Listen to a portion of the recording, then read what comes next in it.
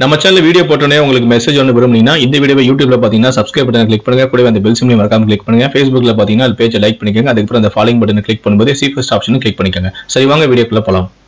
வேலூர் மாவட்டம் அகரம் பகுதியை சேர்ந்த தேவி என்ற இளம்பெண்ணை அதே பகுதியை சேர்ந்த திமுக இளைஞரணி மாவட்ட துணை அமைப்பாளரான சுதாகர் காதலித்து வந்துள்ளார். கடந்த பதினைந்து ஆண்டுகளாகவே காதலித்து திருமணம் செய்து கொள்வதாக ஆசை வார்த்தை கூறி ஏமாற்றியும் உள்ளார். திடீரென்று தேவியிடம் பேசுவதை சுதாகர் நிறுத்தியும் கொண்டார். எப்படியாவது சுதாகரிடம் பேச வேண்டும் என முயற்சி செய்த தேவிக்கு ஏமாற்றமே மிஞ்சியது.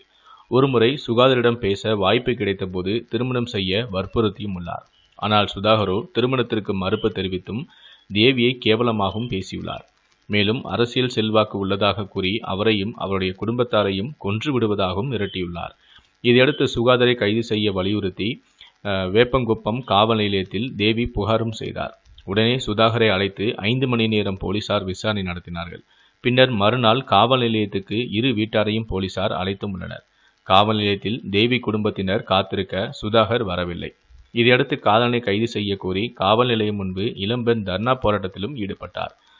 தலைமறைவான சுகாதாரை காவல்துறையினர் தேடியும் வருகிறார்கள். பெண்களுக்கு எதிரான சம்பவங்களில் திமுகவினர் ஈடுபட்டு வருவது தொடர்ந்து அதிகரித்து வருகிறது.